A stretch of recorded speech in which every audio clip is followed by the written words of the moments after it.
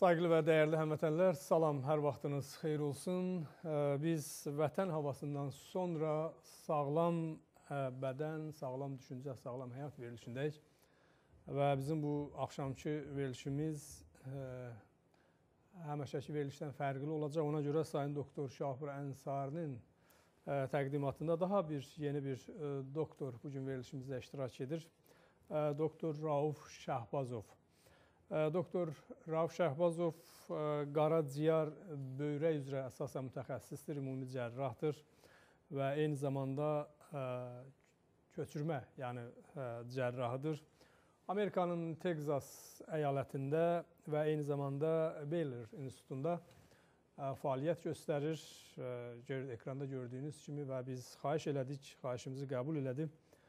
Bu axşam sizə əsasən e, qaraciyər və böyrəklə bağlı bilgilər verəcək. E, Sayın doktor e, Rauf bəy Özüquzi Azərbaycandandır və hal-hazırda dediyim kimi Amerikanın Texas və yaxud Texas şəhərinin əyalətində yaşamaqdadır.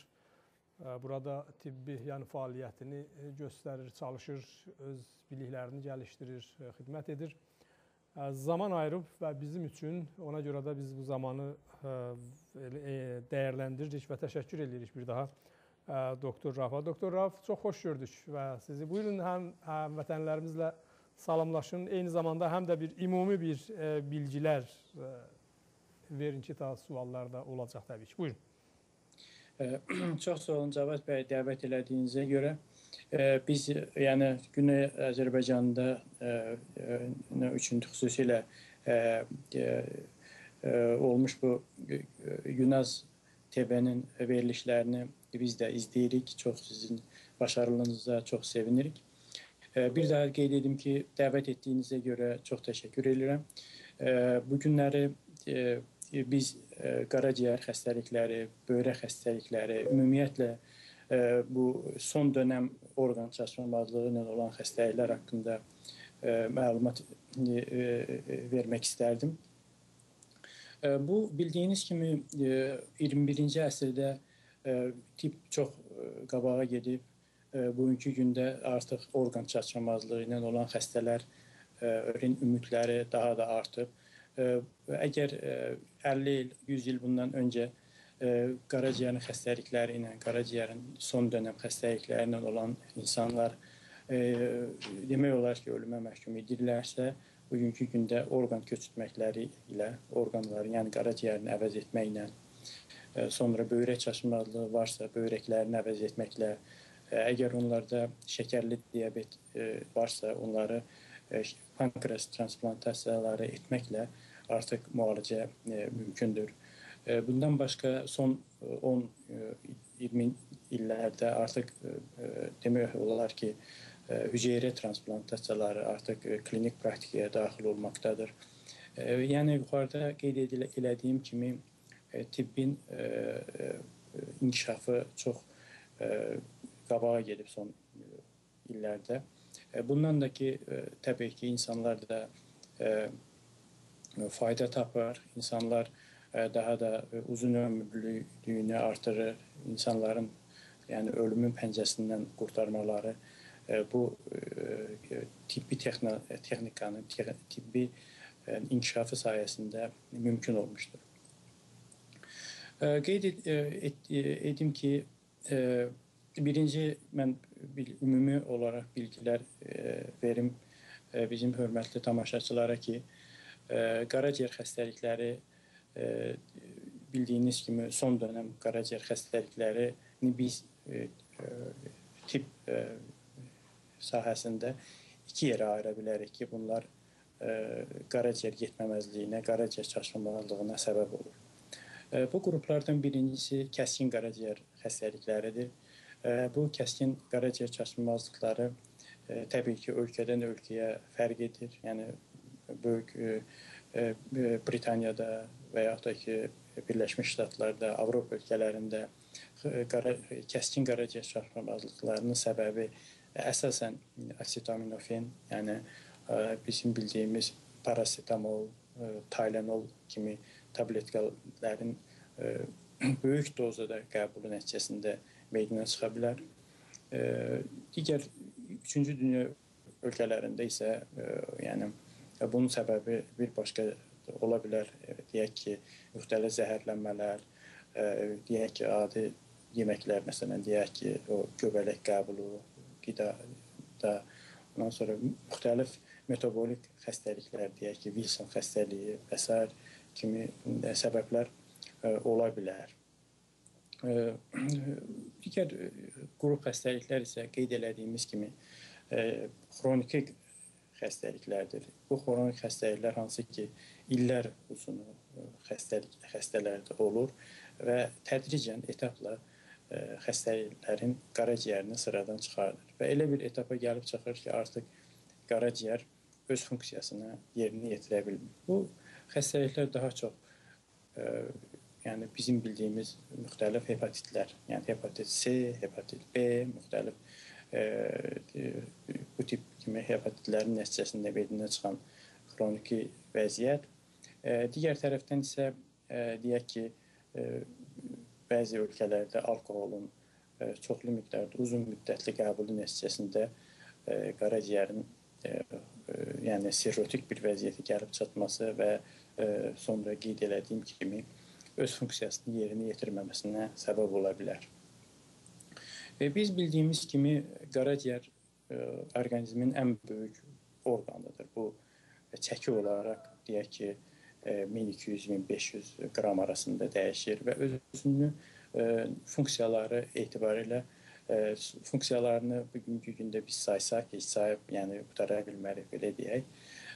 Çünki orqanizmin belə deyək ki, xalq arasında da deyirlər ki, bir e, orqanizmin bir e, biokimyəvi laboratoriyasıdır. Həqiqətən də qaraciyər orqanizmdə çox böyük funksiyalar yerinə yetirir. E, e, müxtəlif e, belə bir neçəsini sadalasaq, yəni bizim üçün aydın olar. Məsələn, orqanizmin o toksiki maddələrdən təmizlənməsini, orqanizmdə çox mühüm e, maddələr mübadiləsinin həyata keçirilməsini, e, bundan başqa deyək ki, orqanizmin o müxtəlif o isti, soyuq mübadilələrində iştirak eləməsi çox müxtəlif orqanizm üçün çox mühüm, vacib əhəmiyyət daşıyan çox-çox maddələrin sintez olunması orqanizm yəni qaraciyərdə baş verir. Bundan başqa yəni orqanizmin o o xalq arasında dediyimiz o laxtalanma, qanın laxtalanma elementləri var ki, o o demək olar ki 99% bu proteinlər, bu maddələr e, qaraciyərdə e, ifraz olunur və e, orqanizmə yəni istifadə üçün sintez olunur. Bundan başqa məsələn qaraciyərin o bizim qəbul etdiyimiz qidaların parçalanması üçün, onun həll olunması üçün lazım olan o dediyimiz kimi o müxtəlif maddələrin ifraz olunmasında mühüm rol oynayır. Qeyd elədiyimiz kimi, yəni bu funksiyalar artıq olmadıqda qaraciyərin funksiyası olmadıqda orqanizm yəni böyük yəni baskı altında qalır, böyük gərginlik altında qalır. Artıq orqanizmdə böyrək, qaraciyər funksiya göstərmir və bunun nəticəsində də ə, getdikcə başqa digər orqanlar da sıradan çıxır və bunun nəticəsində də ə, orqanizm ə, demək olar ki, ə, yəni ə, yaratmaz bir vəziyyətə düşür və getdikcə xəstələrin vəziyyəti ağırlaşa bilər. Və bunun üçün də yeganə bir üsul bu haldan çıxmaq üçün qaraciyərin yəni əvəz olunmasıdır. Qaraciyərin əvəz olunması üçün də çox müxtəlif, yəni üsullar var. Bunlardan ən əsası qərb ölkələrində, Amerikada, Avropa ölkələrində çox-çox yəni inkişaf etmiş ölkələrdə daha çox beyin ölümünə məruz qalmış xəstələrdən orqanlarını çıxardıb sonra orqanizmin o qeyd elədiyimiz kimi o xəstələrə istifadə olunması istifadə olunur. Digər tərəfdən əgər beyin ölümü hələ elə ölkələr var ki, qəbul olunmur. O ölkələrdə isə e, qohum əqrabalardan alınmış bir qaraciyər parçası ilə e, bu qaraciyər transplantasiyalarını həyata keçirmək mümkün olur. E, böyrək trans böyrək isə başqadır. Yəni böyrəkdə bildiyimiz kimi e, dializ var. Böyrəkdə yəni əvəzedici, o peritoneal dializ dediyimiz üsullar var. Və bunun üçün bir qədər böyrək, yəni belə deyək ki, daha çox həyatın keyfiyyətini artırmaq üçün ekonomik nöqteyi nəzərdən vacib olan yəni prosedura kimi sayılır böyrək transplantasiyaları. Qaraciyərdə isə bu qeyd edilədiyimiz bu ə, ə, yəni üsul olmadığına görə bu həyati, yəni vacib bir prosedura kimi sayıla bilər.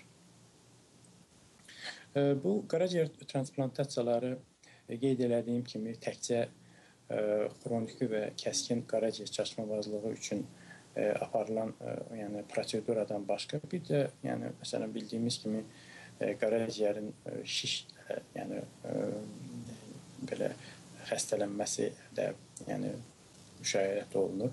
Xüsusilə ki, hepatit B, hepatit C xəstəliklərdən sonra sonrakı dövrdə, yəni qaraciyər sirrotik bir vəziyyətə düşdükdən sonra onda ə, hepatoselülər karsinoma, yəni şiş, ə, xərçəng hüceyrələri inkişaf edib qaraciyəri sıradan çıxarda bilər.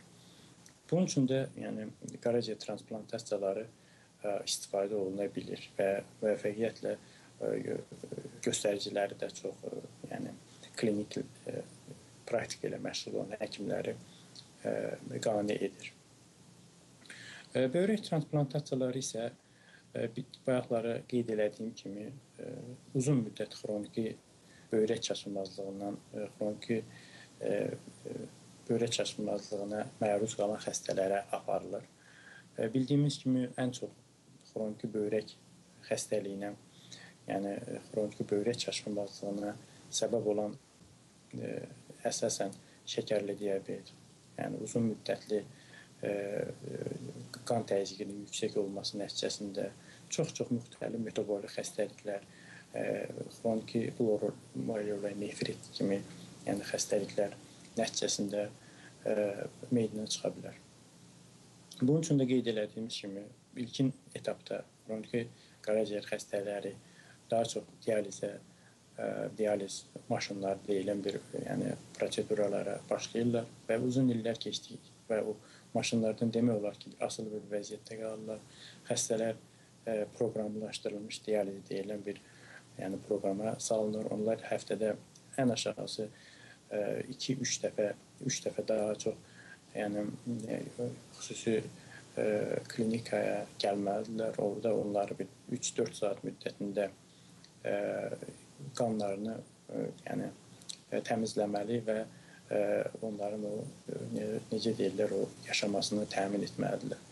Əgər o dializ ə, yəni aparatları olmasa xəstələr təbii ki, yəni ə, ömürlərini davam etdirə bilməzlər. Bunun üçün də yəni bunlar çox vacibdir. Amma e, qeyd elədiyimiz e, kimi e, yəni bu effekt çox da belə effektiv olmur. Yəni qaraciyərin, böyrəyin, yəni xroniki böyrək xəstələrinin e, daha keyfiyyətli, daha yəni uzun müddətli həyatlarını təmin etməsi üçün e, böyrək transplantasiyaları çox mühümdür. Yəni. Bunun üçün də e, bayaqları qeyd elədiyim kimi bu qaraciyər transplantasiyalarında olduğu kimi yenə də beyin ölümünə mariz qalmış xəstə, xəstələrdən böyrəklərin alınması və xəstələrə köçürülməsi ilk ə, yəni ə, variant sayıla bilər. Bundan başqa ə, yəni böyrəkləri ə, sağlam olmuş qohum əqrəbadalar da ə, öz böyrəklərinin birini yəni öz deyək ki, xəstə qohumlarına verə bilər. Böyrək transplantasiyalarında bir yaxşı mühüm cəhət ondan ibarətdir ki, e, bildiyimiz kimi hər birimizin yəni iki böyrəyimiz var və bu böyrəklərindən birini öz xəstə qohumuna e, verə bilər. Təbii ki, bu e, prosedur üçün yəni o o böyrəyi və ya ki, qaraciyəri verəcək insan yoxlanılmalı, hər tərəfli klinik müayinələrdən keçirilməli və onun riski e, nəzərə alınmalıdır. Yəni çünki hər bir əməliyyatın riski var və bu böyrək və ya ki, qaraciyər sağlam adamdan götürülməsi prosedurası da yəni təbii ki müəyyən riskləri vardır. Yəni bunlar mütləq nəzərə alınmalıdır. Bundan başqa, yəni başqa digər bugünkü gündə yəni danışacağımız qısa olaraq mən belə qısa olaraq digər bir orqan üzərində transplantasiyaları üçün də müəyyən bir kiçik bir məlumat verə bilərəm. Bu da yəni pankreas transplantasiyalarıdır. Pankreasın adacıq hüceyrələri deyilən hüceyrələrinin transplantasiyalarıdır. Bu qaraciyərdə, böyrəkdə olduğundan fərqli bir yəni proseduradır. Belə ki, əgər qaraciyərdə, böyrəkdə, yəni transplantasiyalarında bütün funksiya onların daha çox üstün olduğu funksiyaları əvəz olunmasından söhbət gedirdisə, artıq bu pankreas transplantasiyalarında bizim ə, ən əsas məqsədimiz, ən əsas hədəfimiz burada şəkərli diabetin ə, müalicəsi, şəkərli diabetin ə, yəni meydana çıxartdığı o fəsadların qarşısını almaqdır. Bunun üçün də yəni bildiyimiz kimi pankreas ə, ə, özünün o xarici egzokrin funksiyası deyilən bir funksiyadan əlavə orada yəni bir adacıq hüceyrələri var, kiçik hüceyrələrdir. Onlar yəni təqribən kiçik bir təqribən 2-5% yəni hüceyrələrin hissəsini təşkil etsə də çox mühüm bir orqanizmdə funksiya daşıyır. Bu qlukozanın yəni müəyyən normal səviyyədə saxlanmasına xidmət edən insulin hormonu ifraz edir. Bunun üçün də yəni şəkərli diabet tip 1 xüsusilə qeyd etmək istərdim. Bunun üçün başqa orqanizmdən pankreasın götürülməsi və şəkərli diabet tip 1 xəstələrinə köçürülməsi. Digər tərəfdən isə digər hissəsi digər bir prosedura isə bu adacıq hüceyrələrinin özünün belə yəni xəstələrə köçürülərək infuziya şəklində köçürülərək o qaraciyər o e, qaraciyərdə onların e, deyək ki, ilişib qalması və funksiyalarını davam etdirilməsi e, mümkün olur. Bu qeyd etmək istərdim ki, bu pankreas transplantasiyalarının bu sonrakı qeyd etdiyim o adacıq hüceyrələrinin köçürülməsi həmçinin xroniki pankreatit xəstələrinə də nə də şamil oluna bilər.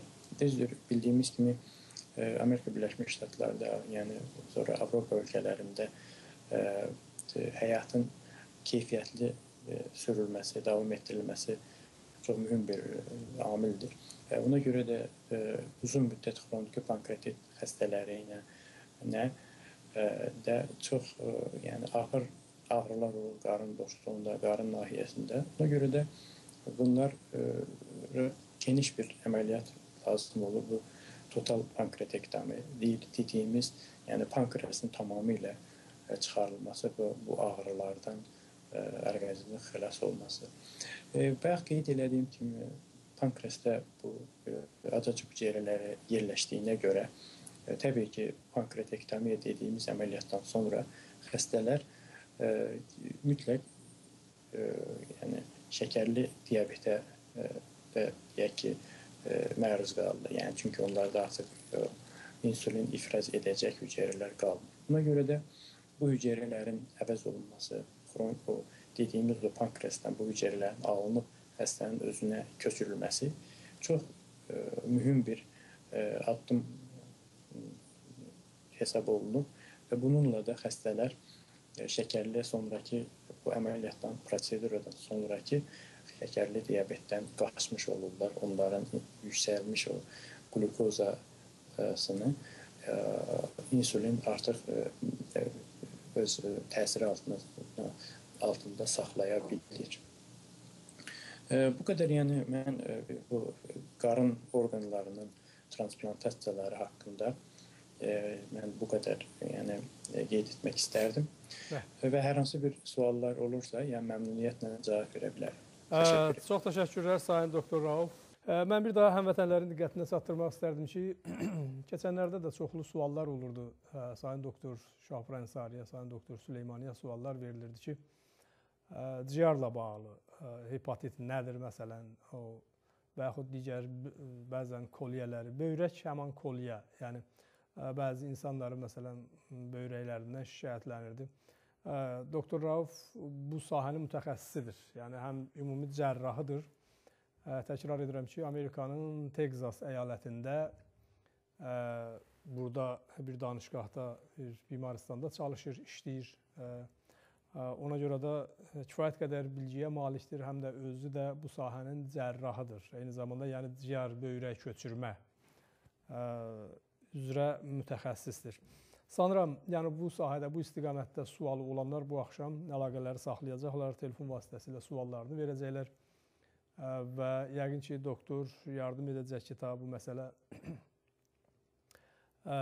açıqlansın bir qədər. Hədəf, yəni bizim verilişimizin mahiyyəti də bundan ibarətdir ki, insanlar bilgilənsin, yəni insanlar bilsinlər Xəstəlik elədir ki, hər halda istər-istəməz insanın özündən də bəzən asılı olmur. Həm asılı olur, həm bəzən də görürsən qiflət eləyir və hər bir insanın qapısını döyür.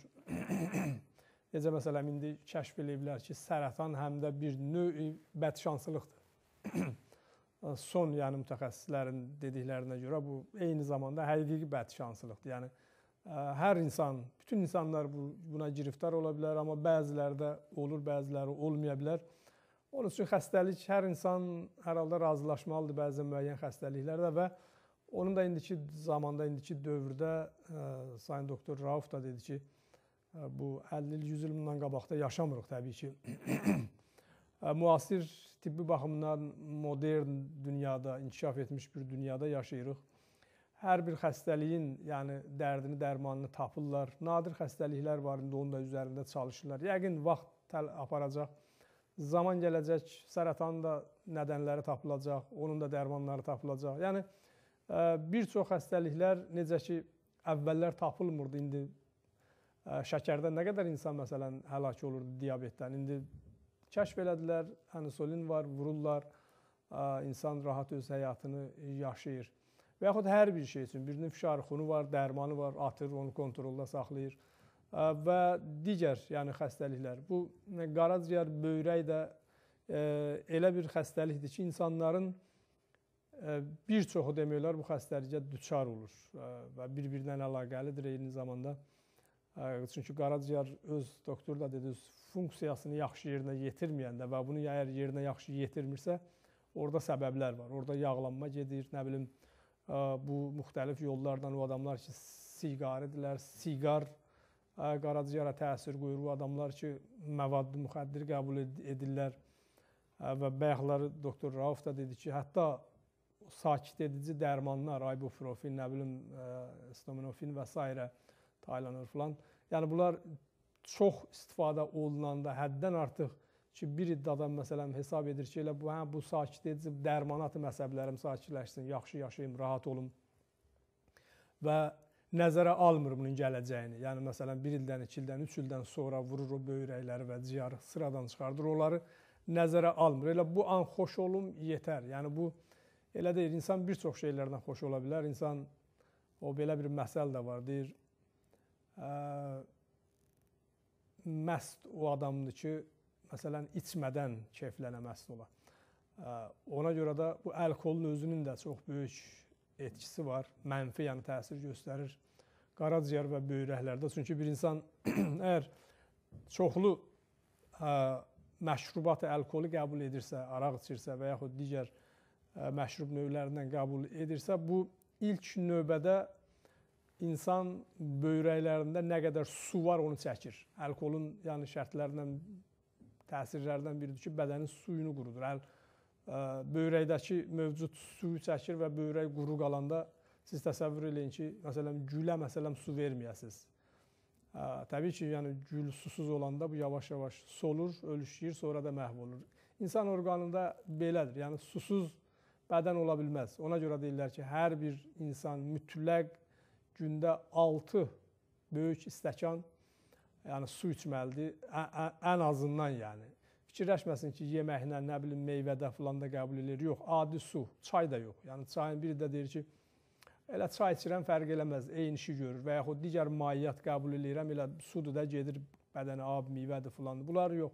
Bunların özünün hər birisinin özünün yerləri var. Sırf yəni təmiz ə, su, adi su ə, ki, qəbul etmək ta o ə, böyrək məsələn susuz qalmamalıdır. Çünki və xüsusən bəzi insanlar ə, içir, yeyir, içir, özü də gecə gecə vaxtı yəni məşrubat, alkolu qəbul edir, yıxılır, başını qoyur, yatır.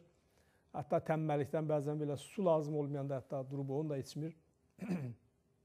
və bu dediyimiz kimi tamam böyrəyin suyunu boşaldır, alır, ə, cəzb eləyir və böyrək nəhayət ki, yəni müəyyən zamandan sonra öz funksiyasını itirir. Birdən ki, böyrəyi çürüyür deyirlər, böyrəyi dəyişirlər falan. Hamısı bu tipli ə, susuzluğun, yəni diqqət etməməyin ə, və eyni zamanda tibbi baxımından insanın kifayət qədər öz orqanı ilə bağlı, öz bədəndəki orqanla bağlı bilgisi, məlumatı olmadığı üçün bütün bunların hamısı yəni əsas şərtlərdir və bir insan bunların hamısını riayət eləyəndə, qoruyanda istər-istəməz sağlam həyat yaşayır, istər-istəməz yəni uzun ömür yaşayır ki, bəzən deyirlər filan kəs 100 il yaşadı, nə bilim 120 il yaşadı filan. O adam o bəxt filan deyil. O adam ona görədir ki, o vaxtında vərzişini eləyib, idman eləyib, faal saxlayıb bədəni. Heç idman eləməsə də bir kənd təsərrüfatı ilə, keşavərciliklə, nə bilim, yeriməklə özünü faal saxlayıb, yaxşı gözəl, yəni yeməklər, təbii yemək qəbul eləyib, o kalorlar ki, yeməkdən bədənə gəlir, onları vaxtı-vaxtında yandırıb bədənin içində qoymayıb qala. Elə əlinə nə gəldi götürüm, yeyib, yağlı filan belə şeylərdən imtina edib vaxtı-vaxtında suyunu içib, nə bilim, meyvəsini filan və nəhayət ki, eyni zamanda məsələn stres özündən kənar eləyib filan, çünki stresin özü də orqanların, yəni məhvində bir nömrəli rol oynayır. Belə insanlar təbii ki, yəni rahat yaşayırlar, 100 ildən də çox yaşayırlar normal halda və biz bu gün eşidəndə ki, filan kəs 100, 110, 120 il yaşayıb təəccüb etmirik. Hətta belə insanlar bəzən o soru suallara əsasən görünür ki, həyatında bir dənə həbb də atmayıb, qurs da atmayıb, dərman qəbul edib, həkimə də getməyib. Var yəni belə hə, adamlar ki, təbii havada, dağ havasında filan hər kəsə nəsib olmur, amma ə, demək istəyirəm ki, əgər varsa insan deməli mümkündür. Yəni insan həyatı mümkündür. Öz həyatını qura, öz həyatını, gözəl həyatını yaşaya və bütün xəstəliklərdən ə, kənar ola. Ona görə də ciyər böyrək ə, insan orqanizmində ən əsas rol oynayan, yəni orqanlardan biridir. Xüsusilə də elə həm də ciyər özü ki, hər halda ciyər, qaraciyər fəaliyyət eləməsə insan məhvə, ölümə məhkumdur. Qeyd elədiyimiz kimi o davam edeyim ki, ə, bəzi bu qaraciyərin xəstəlikləri zamanı ə, bu əlamətlər yəni olmaya da bilir. Yəni uzun müddət xəstə ə, ola bilər, amma ə, qeyd elədiyim ağrılar, sarılıq, yəni qarında o kö köplük, şişkinlik, qan axmalar filan olmaya bilər. Buna görə də yəni xəstələrin ə, bu öz qaraciyərləri üçün, yəni ə, belə deyim ki, bir qədər o ehtiyatlı davranmalar lazım. Bunun üçün ə, yedikləri yeməkdən, yəni o vərdişlərindən tutmuş, o hepatit B, C deyək ki, xəstəlikləri haqqında müəyyən bir bilikləri olması çox vacibdir və bu biliklərin olması ilə öz qaraciyərini, öz orqa, bu vacib bir orqanını qorumaqla ə, o gələcəkdə ola biləcək o çaşmamazlıq və ya da ki, ola biləcək o böyük bir proseduralardan özlərini qorumuş ola bilərlər. Yəni bunun üçün də ə, yəni hər hansı bir deyək ki, əlamət olsa, yəni qarında kiçik bir ağrılar olsa və ya ki, gözlərində bir kiçik bir sarılıq əlamətləri olsa eləsə, yəni e, adi bir, yəni e, deyək ki, ə, e, xəstəxanaya, klinikə gedib, yəni özünü bir yoxlatdırmasından onlara çox xeyri ola bilər. Doktor, mən hə, bir daha bir sualım var. Son bilirsiniz indiki ə, məişəti nəzərə alanda, həyatı nəzərə alanda, xüsusən də Güney Azərbaycanda, İranda bilirsiniz, Bəli. vəziyyət daha çox həm iqtisadi baxımdan, həm ictimai baxımdan çox ağır bir durumdadır. İnsanlar çox ağır bir şəraitdə, vəziyyətdə yaşayır. Müxtəlif baskılar var, həyat baskısı, iqtisadi baskılar, dövlətin bir tərəfdən yanlış siyasəti nəticəsində insanlar çox rahatsızdır və belə olan hallarda insanlar Üst tuturlar, siz bayaq adını çəkdiyiniz, məsələn, bəzi sakit edici dərmanlar, acetaminofin, ibuprofen filandır, özlərini sakit etmək üçün hətta məvad müxəddir, triyek və s. və eyni zamanda alkola, yəni bu spirtli içkilər filanlar, insanlar buna üst tuturlar və bəzən də fanat bir şəkildə bundan istifadə edirlər. Bunu demək istərdim ki, olur, məsələn, keçən dəfə Güneydən bir doktor Süleymaniyə bir sual verdi ki, filan xəstəliyi, filan narahatçılığı var, ay, içkinin buna təsiri yoxdur ki, bu içki içəndir. Və görəndə ki, yox, içkinin məsələn bir, biraz da məsələn xoşal oldu. Yəqin ki, gedib biraz da, yəni daha ə, bu zəmində faal olacaq. Ə, ümumilikdə bu sakit edici dərmanlar, məvad müxəddir, yəni narkotik maddələr, ə, spirtli içkilər, yəni bu alkolun filan ciyər böyrəyə təsiri müsbətdir yoxsa mənfidir? Mən onu qeyd etmək istərdim ki, çox neqativ, yəni ki, neqativ cəhətdən deyə alkoholun qaraciyərə xüsusilə təsiri var, yəni. Ə, hətta belə ümumiyyətlə qeyd edirlər ki, əgər böyrə qaraciyərini yəni qorumaq istəyirsənsə, alkoholdan tamamilə yəni uzaq olmalısan, yəni. Bu ondan irəli gəlir ki, yəni bunun biraz o biraz açmasına edək. Yəni nə cür təsir eləyə bilər? Bildiyimiz kimi, yəni alkohol təsir olunur, yəni ə, e, qəbul olunur mədə-bağırsaq sisteminə, ondan sonra o sorulur ə, e, oradan orqanizmə. Yəni ə, e, alkohol qəbul olunanda ə, mədədən, bağırsaqdan birinci, yəni sorulduğu, birinci, yəni kontaktda olduğu bir orqan qaraciyərdir. Yəni mədə-bağırsaq sistemindən, yəni ə, kül çoxlu miqdarda alkohol e, yəni qəbul olunduqdan sonra qaraciyərə sorulur və o qaraciyərdə o qaraciyər hüceyrələrini toksiki bir təsir göstərərək sıradan çıxardır. Yəni bir toksiki təsiri var. E, digər tərəfdən isə yəni alkohol e, qəbul edər zaman e, qida məhsulları, yəni vitaminlər, e, e, yəni qəbul olunması az olur. Yəni ikincili dolayısı bilinən yolla desək, bu bir yəni qida çatışmazlığı, yəni deyək ki, müəyyən o vitaminlərdir, ondan sonra başqa qaraciyər üçün lazımı olan o qida veri, qidalandırıcı maddələr qaraciyərə gedib çata bilmir və bunun bu da bu da ikinci tərəfdən qaraciyərin o sirrotik dəyişkənliyə, qaraciyərin sıradan çıxmasına səbəb olur. Yəni qaraciyər yəni ni saxlamaq istəyirsənsə, mütləq alkoholdan uzaq olmaq lazımdır. Elə belə deyək ki, xalq dilindən desək, e, qaraciyər xüsusilə xəstə olan adamlar, yəni bu e, alkohol qəbul edərsə elə ki, sanki, sanki o yaranın üstünə biraz biraz da duz töküb, yəni onu e, daha da ağırlaşdırırsan. Digər tərəfdən başqa bir şey şəkildə, yəni başqa bir e, bayaq sizin qeyd elədiyiniz e, sualın digər cavabı, yəni o e, uyuşdurucu maddələrin qəbulu, onun yəni siqaret şəklində çəkilməsi, o yəni marixuana deyək və ya da digər tərəfdən o başqa o venalara vurulan yəni parenxim parenteral, bu da yəni deyək ki, o heroin yəni iynələr vasitəsilə vurulması.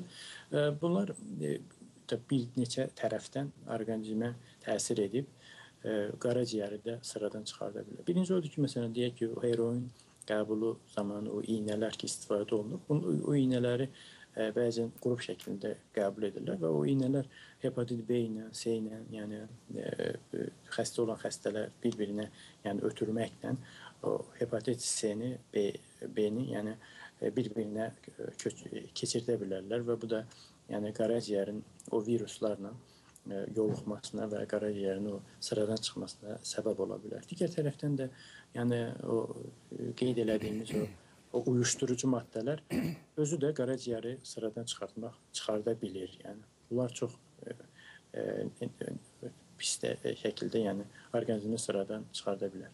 Təkrar edirəm, bizim bugünkü verilişimizin qonağı Texasdan sayın doktor Rauf bəy Şahbazov ki, ciyər, qaraciyər və böyrək xəstəlikləri daxili orqanlarla bağlı ekranlarda telefonlarımızı da görürsüz. Keçən dəfələrdə də çoxlu bu istiqamətdə suallar var idi. Amaçun doktor Sayın Doktor Ənsarı və doktor Süleyman ayrı-ayrı, yəni biri ürək cərrah, ürək üzrə cərrah və Sayın Doktor Süleymani ortopeddir, yəni sümük üzrə mütəxəssisdir. Ona görə də indi daxili, yəni orqanlar, daha çox yəni ciyər və böyrək Ona görə də Sayın Doktor Rauf bu sahənin yəni mütəxəssisidir, ümumi cərrahdır. Həm də eyni zamanda bu istiqamətdə, yəni qaraciyər və böyrək köçürmə üzrə cərrahdır.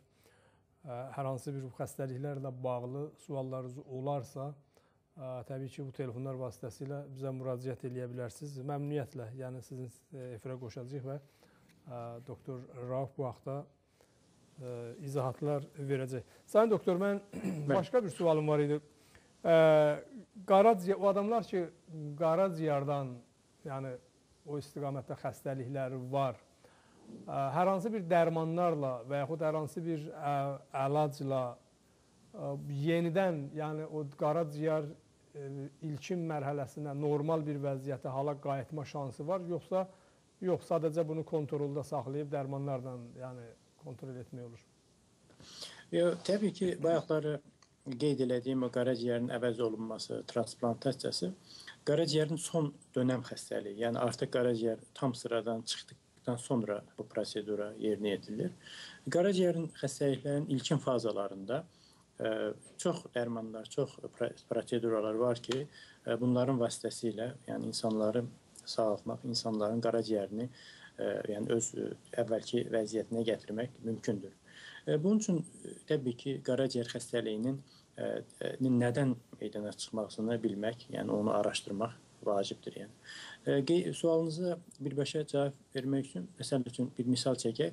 Qaraciyərin hepatit xəstəlikləri, məsələn hepatit B, C, E xəstə, yəni virusları nəticəsində meydana çıxan qaraciyər xəstəlikləri. Məsələn, qaraciyərin deyək ki, o hepatit C ilə, B ilə, virusları ilə yoluxmuş xəstələri müəyyən dərmanlar var. O dərmanları verməklə o xəstəliklər ə, yəni qarşısı alına bilər və qaraciyər öz funksiyası Bəli. C-də xüsusilə qeyd edeyim ki, əgər müəyyən o genotipləri də var o xəstəliyində. Əvvəllərdə bir deyək ki, bir 5 il, 10 il bundan öncədən bu xəstəliklər qaraciyəri tamamilə sıradan çıxardırdısa, amma son illərdə tapılmış o dərmanlar, xüsusilə də məsələn genotip 1-də tipində son illərdə Amerikada məsələn tapılmış bir müəyyən dərmanlar var ki, onlar vasitəsilə 80-95% hallarda belə deyək ki, yəni yardım eləyir. Doktor yardım Sarabdan bir telefon qəbul eləyək, çox xəttə gözlətməyək. Buyurun Sarabdan eşidirsiniz, alo. Salam. Əleyhissalam, xoş gördük sizi. Xoş gördük. Sağ olasınız Cavad bəy. Təşəkkür edirəm sizin bu proqramınızdan. Sağ olun. Və təşəkkür edirəm sizin bu proqramınızdan Cavad bəy və başda doktor Şapur Ənsari və doktor Süleymanı və bizim əziz bu doktorumuz Azərbaycanımızdan Rəuf bəy zəhmət çəkib gəlib onun qədəmləri mənim gözüm üstə. Fəqət mən istəyirdim təşəkkür eləyəm. Yəni bilmirəm nə cür təşəkkür eləyəm. Bu qiymət verəm, qiymət verəmirəm. Ümidvaram. Bəli, sağ olasınız, var olasınız. Sağ olsun Əhməd Ovalı, sağ olsun çalışanlar, yaşasın e, Günaz televizyonu. Çox təşəkkür edirəm sizlərdən. Sağ olun, biz də sizin bu e, dəyərli sözünüzü qiymətləndiririk. E, sanıram, yəni sizin e, hər hansı bir sualınız yox idi elə. Sayın doktor, doktora bir sağ ol dedim. E, bəli, buyurun sayın doktor. E, mən yəni telefona görə sizin sözünüzü yarımçıq kəsdim. Hər halda bu soydaşımızın e, bu sahədə sualı yox idi bu istiqamətdə. Buyurun. Bəli. Onu çox sağ olsun, təşəkkür edirəm. Bizim borcumuzdur insanlara, xəstələrə, yəni bilgilərini cavablandırmaq və onlara az və ya çox dərəcədə yəni kömək edə, etməmiz bizi məmnun edir təbii. E, suala bir daha yəni bir davamını e, davam edim ki, e, qeyd elədiyim kimi o, xəstəliklər ki var, qaraciyəri e, sıradan çıxardır. Onların ilkin etaplarında yəni müxtəlif vasitələrlə, dərman vasitələri ilə, sadəcə deyək ki, o hepatit B ilə, C ilə xəstələnmiş, yəni viruslarla xəstələnmiş insanları dərman verməklə müalicə etmək mümkündür. Digər tərəfdən isə başqa bir qrup xəstəlik, deyək ki, alkoqol e, vasitəsi nəticəsində sıradan çıxmış qaraciyərin sadəcə olaraq alkoholu ə, e, kəsməklə, alkoholdan imtina etməklə belə qaraciyərin sonrakı, yəni ə, e, proqressivləşən xəstəliyini qarşısını almaq mümkündür, yəni. Dediyimiz kimi çox sadə, yəni sadəcə alkoholdan ə, e, əl çəkməklə öz qaraciyərinin sağlamlığını saxlaya bilər və o funksiyada davam edir. Sən doktor, ə, Rusiyadan bir telefon qəbul eləyək. Buyurun Rusiyadan eşidir cəlab. Axşamın xeyir. Hər vaxt xeyir, xoş gördük sizi. Məni maraqlandıran bu hepatitli xəstəliklərin indi Azərbaycanda da çox olması, elə dünyada çox olması. Mən bir yaxınım var, o hal-hazırda hepatit B xəstəliyinin xronik vəziyyətindədir. Onun ümumiyyətlə müalicəsi mümkünmü dünyada? Bəli, təbii. Çox sağ olun e, suala görə. E, hepatit B ilə olan xəstədə virus, yəni bu virus e, e hepatit B e, virusu deyirlər. E, o, yəni qaraciyəri təbii ki, sıradan çıxarda bilər, amma onun müalicəsi təbii ki var. Onun müalicəsi interferondur. Ondan sonra lamivudin, yəni bu spesifik bir e, yəni dərmanlar deyək ki, vasitəsilə onun müalicəsini etmək mümkündür. Bu, yəni çox ölkələrdə, yəni Azərbaycanda da mümkündür, Rusiyada da, yəni yaxın şərq ölkələrində bu dərmanlar yəni var, yəni əldə olunur və onu sadəcə olaraq bu hepatoloqun, yəni o, o sahənin mütəxəssisinin o nəzarəti altında o müalicəni aparmaq mümkündür. Aydındır. Yəni başa düşün ki, bu sualın cavabı odur ki, bunun müalicəsi mümkündür. Bəli, əlbəttə. Bəli. Ə, buyurun Tehrandan ə, başqa bir telefon qəbul edək. Alo. Alo, yorum yazsaq bəs. Sağ olun, təşəkkürlər. Buyurun. Sizə salamlayıram, sağ olasınız. Mənim sualım budur ağay Bisirddən ki, mənim mədəm çox köpür, bədənim də çox qaşınır. Elə bilirəm ki, bu ciyərimdə, bu daxilimdə bir mərikçilik var. İki dəfə dühtürə getmişəm, bu mədəm çox köpür, əziyyət eləyir. Bu şərbət fəqət biraz toxtar, qusların heç biri toxtatmır. Evet. Aydın sual. Buyurun doktor. Evet. Ee, keçmiş olsun, e, yəni e, sizə, yəni xəstə haqqında qeyd eləyim. Təbii ki, indi o qarında olan o köplük, o ağrılar yuxarı mədə e, nahiyəsində qarında olan ağrılar, orada daxili orqanlarda hər hansı bir xəstəliyin, bir narahatsızlığın səbəbidir. Yəni buna görə də mən Hesab edirəm ki, yaxşı olar ki, daxili xəstəliklər mütəxəssisi, yəni yəqin ki, yaxınlıqda Tehranda olmamış deyil, bir gastroenteroloqun yanına getsəniz, o bir yaxşı bir müayinə etsin. Lazım ola bilər ki, e, yəni instrumental müayinə dediyimiz endoskopiyadır, sonra ultrasəs müayinəsi ilə baxıb qaraciyərə, öd yollarına, öd kisəsinə e, sizin xəstəliyinizin səbəbini e, asanlıqla aşkar eləyə bilər, yəni. E, lazım olursa, yəni başqa yəni o qaşınma da qeyd elədiyiniz kimi o da yəni qaraciyər xəstəliyinin bir e, səbəbi, yəni bir əlaməti kimi ola bilər. Yəni ona görə də mən sizi tövsiyə edirəm ki, gedəsiniz, yəni bir e, bir həkim sizə bir yaxşı baxsın və diaqnozunuzu müəyyən elədikdən sonra artıq o asandır o müalicəni aparmaq. Yəni.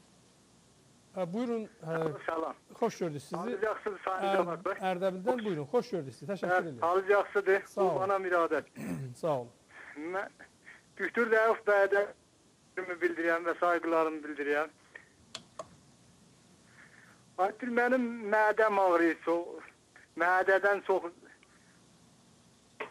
mədə xəstəliyim vardı. Mədəm ağrıyır çoxlu. Hə, keçmiş olsun. E, mədə e, əgər Sizdən xahişim budur ki, bu barədə mənə açıqlama verəsiniz. Gözünüzə qurban olum. Ə, yəni doktor, ə, mümkün, bəli. bəli, çox təşəkkür sizin sualınız aydındır. Mümkün olsa, yəni bu mədə ağrısı, mədə şişi, mədə köpməsi filan bu xəstəliklərin millət bilsin. Məsələn, qidadandır, yeməkdəndir. Hər halda bunun bir səbəbləri var da. Yəni bunun onu önləmək üçün nələr etm etməlidir, nələr etmək lazımdır? Buyurun. Bəli. Hə, dedim ki, o mədə də, yəni daxili orqanlardan biridir və onun da çox müxtəlif funksiyaları var. E, Bu funksiyalar yəni təbii ki, e, mədənin o müxtəlif xəstəliklərin nəticəsində pozula bilər və bunlar özünü qarnın yuxarı hissəsində ağrılarla müşahidə edilə bilər. Bu xəstələr də buna e, sanki mədələri ağrıyır kimi deyə bilərlər. Yəni e, bunun üçün indi o mədəsinin e, e, deyir və başqa bir orqanıdır. E, ağrıyır e, deyək. E, bunun üçün yəni yaxşı olar ki, xəstəni bir müayinə olunsun, onun ətraflı bir xəstəyə dinlənilsin, ağrılarının xarakteri, nə vaxt ağrıyır, e, günün hansı hissəsində qida ilə əlaqəsi var, yoxsa yoxdur. E, yəni neçə müddətdir bu xəstəlik, mədə ağrıları davam edir, müalicə qəbul edibdir, etməyibdirmi? Bu kimi, yəni həkimin verəcəyi çox-çox suallar var və bundan sonra müayinə edib xəstəni e, yaxşı baxmaq lazımdır xəstənin mədəsinə, başqa nahiyələrinə.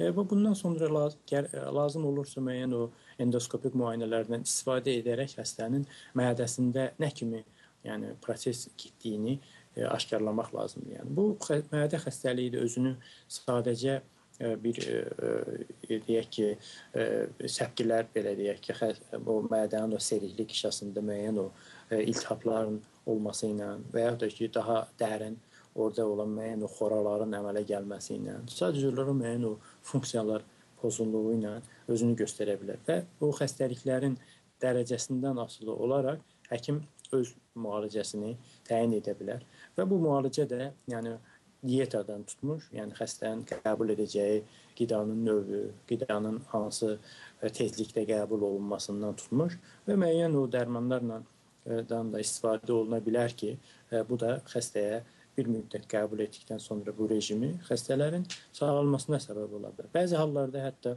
yəni bu mədə kiçik bir mədə xəstəliyi e, cərrahi əməliyyatın aparılmasına da göstəriş ola bilər e, və bunun üçün də qeyd etdiyim kimi e, xəstəni bir müayinə edib onun bir e, diaqnozunu qoyub ondan sonra müəyyən bir taktika seçərək xəstəni müalicə etmək lazımdır. Bəli. Ərdəbildən buyurun. Alo. Bəli. Xoş gördük sizi. Buyurun. Qaday Hanım. Ad, adütüdən sualım var ki, mənim gücür olub belim ağrı, vürək qışlarıma bir 10 dəqiqə ayaqüstə dursam, qışlarımın üstündə bir hiss olur. Day dəbərilə bilməyəm. Hə. Hə, keçmiş olsun. Yəni sizin bu ağrılarınız neçə müddətdir baş verir? Çoxdanmı yoxsa təzə əmələ gəlib? Təəssüflə telefonu kəsildi. Hə, Buyurun hə, bəli. Yəni hə, bu bel ağrıları da təbii ki, yəni ə, çox səbəblərdən ola bilər. Bu sadəcə olaraq bel nahiyəsində olan əzələlərin sadəcə olaraq belə deyim ki, gərginləşməsindən, spazm nəticəsində əmələ gələ bilər.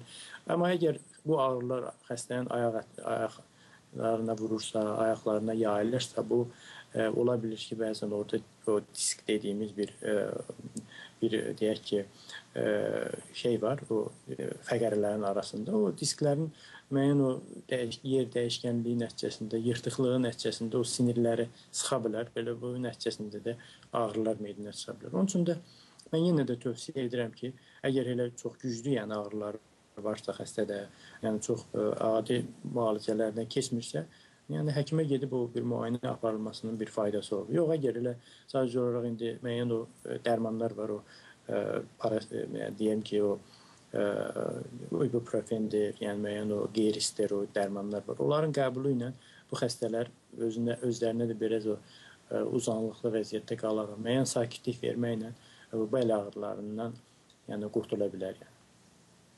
Aydındır. E, buyurun Sarab'dan başka bir telefon kabul edileye Calo. Sarab buyurun eşitir Calo. Saraptan, Saraptan. Buyurun bəli, xoş gördük sizi, buyurun. Yorum ya, sizden dörtünden danışan, biçim ağrıyırdı. Eşidir doktor, buyurun. Bəli, eşidirəm. Bəli, buyurun. buyurun. Selamun aleyküm adresiniz. Aleykümselam, aleykümselam. Yorulmayasınız. Təşəkkür. Siz də keçmiş olsun. Dörtü deyirəm, mənim bu qıçımın, mükəmməl qıçım sancırı, qatlayanır, asılı əziyyət eləyir. Aha. Neçə müddətdir sizdə bu belə hal var? Bəli. Deyirəm neçə müddətdir sizdə belə bir hal başlayıb? Təqribən bir həftədə 10 gündür. Aha. Əvvəllərdə belə hal olmuşdumu? Yox, olmamışdı. Məgər qıçım indi qatlayıram da açamıram. Bax sancı eləyir. Aha. E, o neçə da, nə qədər davam eləyir o e, aça bilməmək o, e, o ayağınızın Açamam belə sən bir gündə də namaz qılanda da çar vermir. Aha. Ola bilər ki, yəni böyük ehtimalla sizin o ə, əzələlərdə bir yəni qıc olma deyək ki, yəni əz, əzələləriniz ə, biraz ə, yəni ola bilsin soyuqluyub, ola bilsin müəyyən bir o ya gərginliyə düşübdür. Onun nəticəsində əmələ gəlibdir. Mən tövsiyə edirəm ki, indi qış vaxtıdır, biraz o ə, isti saxlayasınız. Biraz yəni o baxasınız ki, bəlkə ağır iş görmüsünüz. Onun nəticəsində beynindən çıxıb. Ağır iş görmüş ya. Hə, əgər o onu bir nəzərə alasınız, əgər yəni o ağır işlərdən biraz uzaq olasınız, sakit tutasınız, e, yəni o əzəllərinizi, aya- qıçınızı, bundan nəticəsində əgər xeyir olmasa bir kiçik dərmanlardan da qəbul eləsəz, yəni mən hesab edirəm ki, yaxşılaşar yəni. Valla iğnezat verdim cemaat götür çar vermedi.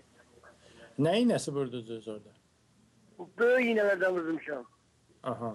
Hə, o adı yadınızdadır yoxsa e, e, yadınızdan yeyə bilərmisiniz? Ekşafonda iğne değiller. İbuprofen. Hə. Aydın. Hə. Bəli. Hə, ayağınızda e, bir şişkinlik, bir ne- qızartı, bir temperatura falan yoxdur ki? Bəli. Kəsildi telefonu doktor. Hər halda Bəli, e, bəli. sanıram siz müəyyən tövsiyələrinizi verdiniz. Əhərdən buyurun, alo. Alo salam cavab. Əleyh salam, xoş gördük. Buyurun, sağ olun. Sağ bütün Dötübə yorulmaz. Axşamı sayır. Bəli, buyurun. buyurun. Keçmiş olsun. Əcəm Əsbət Dötübə. O cür mənim ittiram vardı. İranda yer xəstəliyi çox azaraqdır. Yoxdur. Bəli, Koreya qisməti, böyrək qisməti. Çoxdur, narahatsızlıq çoxdur. Bir şey həddidir. Yəni də dəri divara baxsan yazıqlar ki, Koreya Proşnam falan, bəhməkan belə. Səndən xahiş edirəm, yoxsa açıq-açıq eləsin ki, biləsiniz ki, məsələn bu Kureyasını satırlar, dəyişirlər, təbdirlər, sudan deyil, nə mənədəndir. Çünki hala digər xəstəliyi özünüz bilirsiniz siz bu beləxərə ustasınız. Xəstəliyin məşrubatı ki, hala da İranda bir dana nayab yoxdur. Var böyrək məsələsi çox müşküldür İranda. Bunu xahiş edirəm qəşəng kamilən asılıyasınız biləsin ki, nə bu arasının ziyanı var, zərəri var, nələrdən istifadə eləsinlər, eləməsinlər. Allahın ağlaması məndən bu qədər sağ olun. Çox təşəkkürlər. Doktor, bunları mən də xatırladaram. İstəsəz siz də bir qeydlər götürün. Başqa bir telefonları qəbul edək. Buyurun, Tehrandan alo. Alo selam aleyküm. Əleyhissalam, buyurun. Akşamı seyir olsun ne var ne yok. Sağ olun. Buyurun. Türkçeden haber ha bizim bu, bu adamının boynu ağrıyor. Hı hı. Boynu. Bəli, bəli, bəli. Ürəyi qalxır bu nədəndir? Başı dizəlir Hı. aldan gedir. Hə, neçə yaşı Alo. var xəstənin? Tərvən bir 45 dindi var. Aha, neçə müddətdir xəstəliyi var? Bu boynunda ağrıları var? Tərvən bir 4 gündür. 4 gün 5 4 dəfə bundan tutdu. Hə. Götürər Əvvəl- şu deyir asıl bu ürək qalxma nədəndir başı dizəlmə. Hə. Hə, Ola bilər, yəni bu bu boynundakı olan ağrılar ə, Bəli. sadəcə olaraq o, o boyun nahiyəsində olan xəstəliklərdən əmələ gələ bilər və bir də ki, o Bəli. daha dərin məsələn elə adi ə, deyim ki, boynun o ə, əzələlərindən başqa sinir hüceyrələri var, fəqərələri var. Onların da müxtəlif o yer dəyişmələri nəticəsində meydana çıxa bilər. Bunun üçün də bilmək lazımdır, yəni görək travması, zədəsi olubdu, Bunu olmayıbdı. tükürdə xəbərə günləri qadın alır sənə. Bəli, Bəli. sağ olun. Elə düktür şərh verir. E, Bəli. eşidin, televizyondan eşidin. Bəli. Hə. Hə, bunu qeyd eləmək lazımdır ki, yəni əgər xəstədə boyun nahiyəsində ağrı varsa və ürək bulanma da varsa, yəni bu bu biraz yəni e, baş yəqin ki indi soruşsaq deyər ki, baş gicəllənməsi də var, gözündə qaralma falan. Bu müəyyən bir ciddi xəstəlik ola biləcəyini də ə, ə, sübut edə bilər. Bunun üçün də hətta məsələn boyundan başqa burada yəni beyin nahiyəsində bu ə, hər hansı bir ə, başında bir yəni proseslər ola bilər, ağrılar ola bilər, iltihabi xəstəliklər ola bilər. Bunun üçün də mən hesab edirəm ki, onu bir ə, yəni bir nevro ə, nevro nevroloqa ya bir ə, orada ortopedlər var, əsəb doktorları falan. Onlara bir göstərilsə yaxşı olar ki, yəni bu xəstəliyin səbəbini aşkar eləsinlər. Bəli. E, buyurun Təbrizdən alo. Salam aleyküm. Əleyhissalam. Elə Yorulmuyor. Sağ olun. Ötüdə bir sualım var idi. Mənim bir qardaşım var, mərizli. Bunun rudəsini bildiyi çıxartdılar. Bağırsağında. Səratan rudəsi var idi. Ə, bağırsağında xərçəng Təməli- xəstəliyi. Götür əməl eləyəndən sonra dedi bir şaxı atıb o bizə kəbəklərdə sarı. Biri dedi yaxçı idi. Dubarı başlayıb qarnı şişib, qarın Evet. sulanıbdı. Aha, Aparıb bəli, suyun çəkildə taxırda vermişik kimi dərmanıya. aha, bəli. Dedi kimi dərmanıya. Onu istəyirəm soruşum deyilməlisiniz. Ə, Bəli, hə, ə, doktor mümkün olsa biz ə, bir Evet. telefonda qəbul eləyək sonra. buyur, buyur. Ə, buyurun Tehrandan. Bəli, Tehrandan olan kəsildi. Əhərdən ə, sual var idi, ə, böyrək xəstəliyi ilə bağlı ə, və onun səbəblərini ki, əsasən bu düz deyir, İranda həqiqətən də böyrək xəstəliyi çox-çoxdur və Bəli. böyrək satanlar sıraya dururlar, səhvə dururlar, böyrəklərini satırlar. Ə, o anlamda yəni onun sualı bu idi ki, əsasən böyrək xəstəliyi nədən əmələ gəlir? Ə, Çox ə, ə, çox ə, yəni ürək ə, açan deyil ki, təbii ki, o böyrək xəstəlikləri İranda getdikcə artır. Ə, Bu bunun üçün nədən əmələ gəldiyini təbii ki, demək üçün böyrəyi ümumiyyətlə sıradan çıxacaq, çıxaracaq xəstəlikləri bir gözdən keçirdək. Bunlardan ən çox yəni bayaq qeyd elədiyim kimi böyrək sıradan çıxardacaq şəkərli diabet xəstəliyidir. Ondan sonra ə, yüksək ə, uzun müddət yəni təzyiq, yəni qan təzyiqinin yüksək olması və başqa digər yəni xroniki qaraciyər, xroniki böyrəyin iltihabi xəstəlikləri və başqa digər xəstəliklər sıralana bilər yəni. Ə, yəni ilk sırada gördüyümüz kimi şəkərli diabet və ə, yüksək qan təzyiqi ilə ə, ə, olan xəstələrdir. Yəni bu belə deyək ki, uzun müddətli yəni şəkərli diabet ə, əvvəl axır bir 5 ildən sonra, 10 ildən sonra, 15 ildən sonra ə, böyrəyi sıradan çıxardır yəni.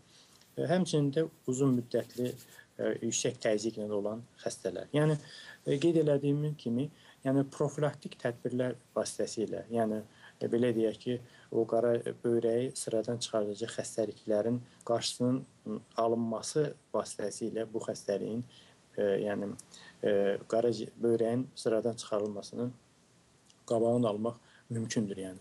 Bunun üçün də e, bayaq qeyd elədiyim kimi deyir, o ən e, yaxşı müalicə onun profilaktikasıdır, onun yəni qorumasıdır. Bunun üçün yəni mütəmadi böyrəyin olmasını, böyrək xəstəliklərinin olmasını yəni qəbul etmək, əgər şəkərli diabet varsa, onu hər zaman yəni kontrolda saxlamaq, ildə bir dəfə, iki dəfə yəni böyrəyin ə, şəkərli diabeti olan xəstələrin öz böyrəyini yoxlaması lazımdır. Bunun üçün o adi sadəcə SDI müalicəsi, müayinəsi, qanda ə, o müəyyən o kreatinin dediyimiz o göstəricilərin yoxlanılması vasitəsilə qara böyrəyini yəni kontrol altında saxlaya bilər. Həmçində bayaq qeyd elədiyim kimi yüksək təzyiq ilə olan, təzyiqlə olan xəstələr.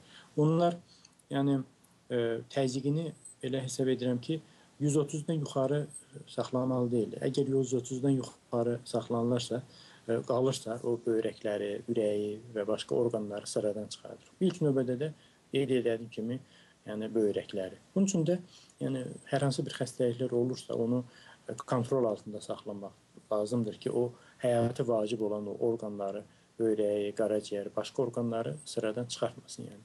Həmçinin də profilaktik, yəni ə, deyək ki, mütəmadi olaraq daima ə, mayələrin qəbul olunması, içilməsi, deyək ki, hər hansı bir böyrək xəstəlikləri olanda onu ə, vaxtında, yəni həkimə gedib müayinə və müalicə elətdirilməsi ə, bu sonradan o böyrək çaşmamazlığına qabağını alacaq və xəstəyə artıq heç böyrəyin köçürülməsinə də ehtiyac olmazdı yəni.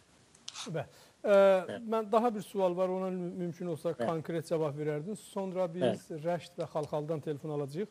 Ə, sual olundu ki, ə, bağırsağında xərçəng xəstəliyi var və eyni zamanda bu ciyarına doğulu, yəni bu xərçəng irəliləyir. Şimi dərmanı da olub, nə etməlidir, nə etməlidir? Bunun- Hə. Bunun üçün ə, yəni ə, çox təəssüf ki, yəni o ə, dey, xəstənin də dediyi dediyi kimi bu yəni o düz bağırsaqda, o qalın bağırsaqda olan o şişlər e, qaraciyərə də sirayət edir. Yəni metastaz verib, biz ona tip dilində metastaz deyirik. Ora sirayət edilib, yayılıb ora. Bunun üçün yəni çoxlu yəni müalicə, müalicələr var. Yəni kimya terapiyası dediyimiz e, dərmanlar var. O vasit o dərmanları verməklə o xəstəliyin qarşısını almaq olur. Bəzi hallarda e, o kimya kimyəvi dərmanlardan başqa e, cərrahi müalicə, cərrahi müdaxilə yəni lazım olur ki, yəni o yayılmış o qaraciyərin o, o hissəsini kəsir, kəsib e, sonra yəni qalan qaraciyər öz funksiyasını bərpa edir və qaraciyər çox regenerasiya, yəni özünü bərpa etmək yəni qabiliyyətinə malikdir. Ona görə də o qaraciyər öz vəziyyətini davam etdirir. Qısası belə deyim ki, yəni o xəstədə hələ şanslar yəni itməyib, o xəstənin o onkoloqun yanına aparıb orada kimya müalicəsi və lazım olursa da əgər imkan varsa, çox yayılmayıbsa, o qaraciyərin də o hissəsini, şiş olan hissəsini kəsib xəstəni müalicə eləmək mümkün olar yəni. Aydındır. Ə, Rəşdən buyurun alo. Alo. Rəşd, buyurun bəli, eşidirik. Evet, buyurun. Alo. Buyurun, eşidirik, buyurun. Selam dedi, yorulmuyorsunuz. Buyurun. Evet, buyurun, olun. Alo. Alo, alo, buyurun. Biz sizi eşidirik, səsiniz də yayılır. Lütfən buyurun, Evet, sualınızı evet. verin. Buyurun, Selam aleyküm, yorulmuyorsunuz. Sağ olun. sağ olun. Dedim ben bir de sualım vardı. Buyurun. Ben düz istəyirəm. Bəşviyə gedəndə mən fişar gələndə e, çist gəlir məndən. Dedim bir nə, nəyə görə diyor. Bəli. Yaxşı. Ə, a- a- Aydındır sualınız. Aydındır. Mən e, təkrarlaram. Xalxaldan buyurun. Alo, Buyurun bəli. e, salam aleyküm. Yorulmayasın. Buyurun. Buyurun, buyurun. E, yorulmayasın. Salkaldan zəng açmışam. Xoş gördük. Buyurun. Sağ olun. E, Sağ olun. Birdən və sizin bu gözəl zəngin məqamələrinizdən təşəkkür edirəm. E, iki dənə sual var idi. E, mənim bu qəlbimin sol tərəf qəlbimin arxasından düz bərabərindən qaşınır. Düz kürəyimdə çiynimin altından, arxa tərəfindən qaşınır. Elə çox şiddətli qaşınır. Hərdən bir də bu qəlbim sancır. Biri bu idi, bu nədəndir? Bir də e, sol qıçımın ki, buddan yuxarı e, qan qurmaq vardı bir yerlərdə. Ayaq üstə qalmaqdandır. Özümdəki bilirəm ki, ayaq üstə işim belədir ki, ayaq üstə qalmışam. Ondandır. Mən bunu necə eləyə bilirəm, rəf eləyəm. Sağ olasınız. Sualım Aydın. budur. Televizyondan qulaq asıram. Aydındır. Ə, çox təşəkkürlər. Ə, Əcəbşirdən buyurun. Ad ötü, ad Cavad ağa, mən bu antoskopiyaya getmişəm. Bir dötüdən sualım budur ki, antoskopinin mədiyə zərəri var ya yox. Bir o, bəs Hı. Alo. Bəli bu o Ə, sualınız budur ki, endoskopinin mədiyə zərəri var ya yox? Sualınız budur. Bəli, bir o bir o, bir də ki, antoskopu olandan sonra ə, deyiblər əsablarındandır. Bir hesaba mədəmə bir diqqətli narahatlığı vardı. Deyiblər əsablarındandır. İndi də əsab davası yeyirəm. Bəs işqırma gəlir. Biləmə i- iki gündür zətdə işqıram. Dərmandan sonra Bəli, indi o əsab davalan yəndən sonra işqırma gəlir. İndi onlardan bir hesaba işqırma aydın. e, iş, işqırıram bir hesaba qəzadan sonra. Aydın. Hələlik sual qəbul eləməyək, doktor. Ə, ə, sualın biri bu idi ki, yəni ayaq yoluna adam gedir və orada ə, oturur deyir ki, ə, çirk gəlir, yəni ifraz olur, ə, xaric olur. Sualın Evet. biri bu idi. Buyurun əgər bununla bağlı bir Evet. məsləhətiniz varsa.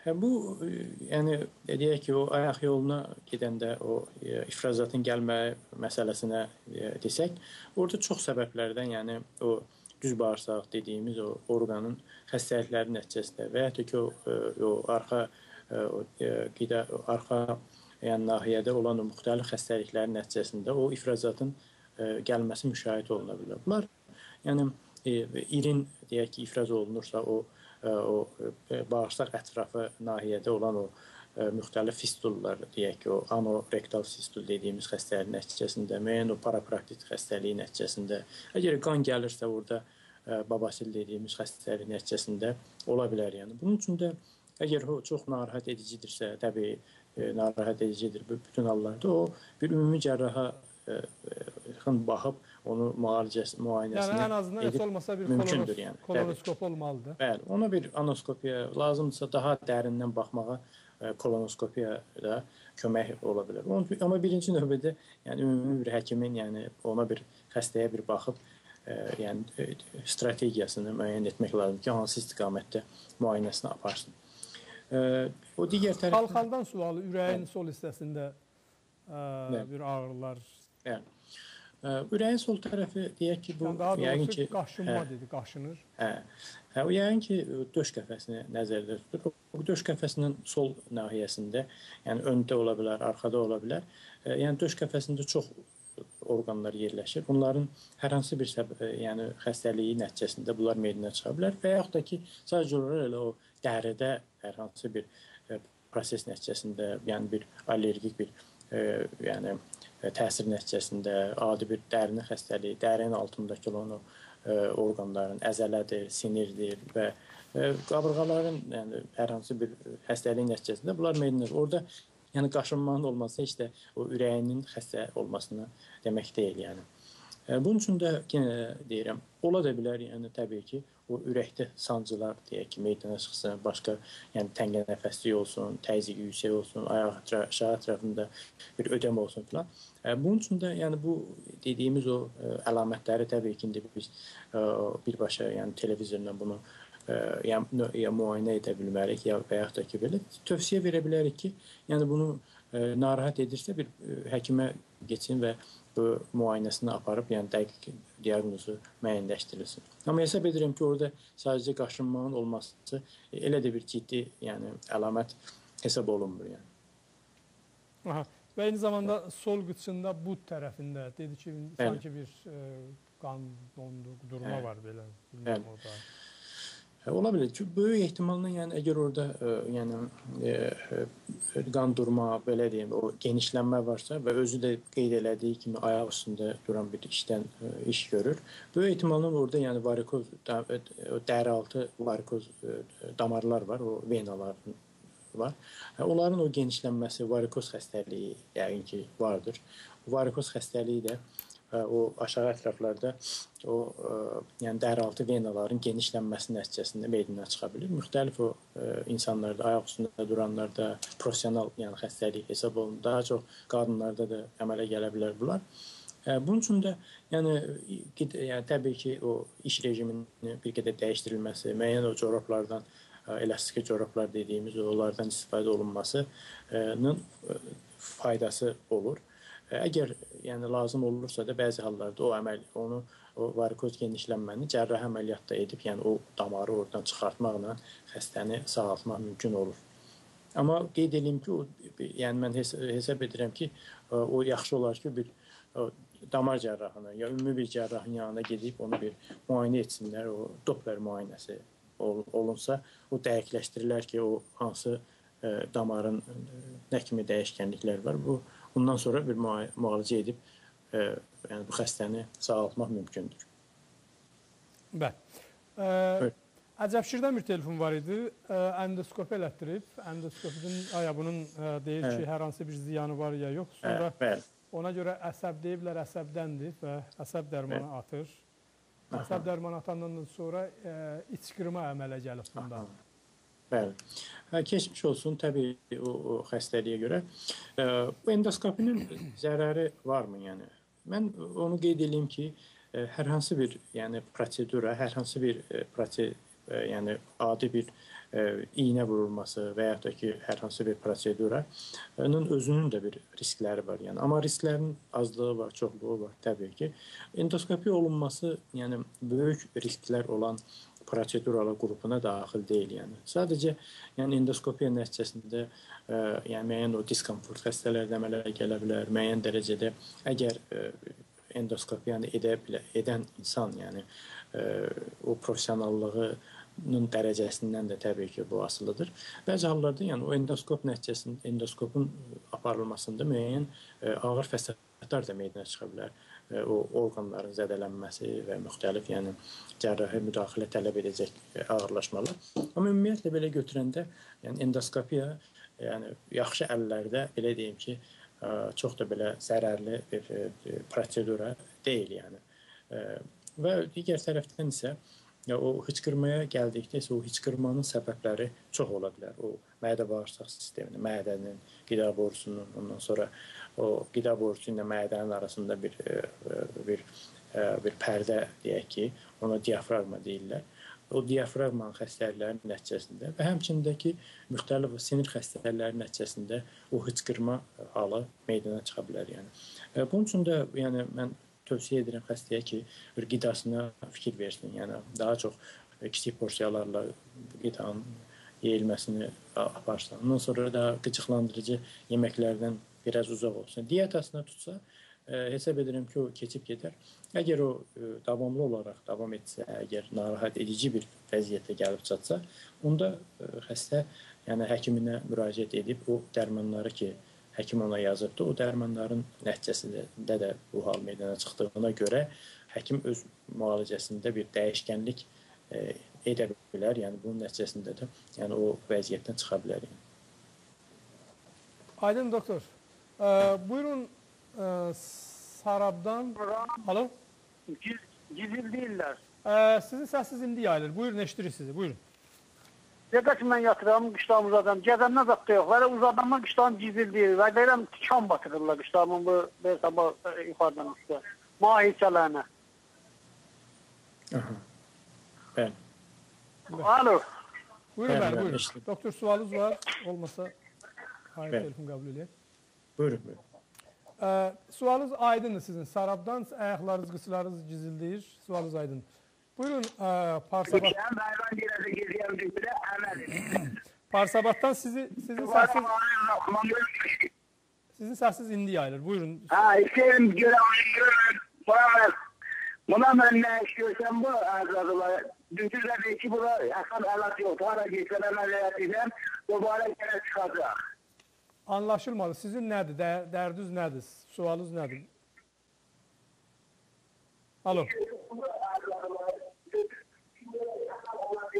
Ee, televizyonun televizyon səsini alın lütfen telefondan. Sualınızı bir də verin.